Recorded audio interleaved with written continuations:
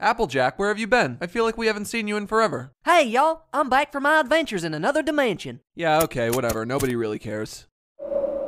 Nobody cares, but I saved the entire multiverse from a giant. Nobody cares, Applejack. But, but I. Nobody cares. You stupid cunt. Shut your fucking mouth. Oh my god. Shut up. Shut up. A million times shut up. I'm going to kill you. Shut up.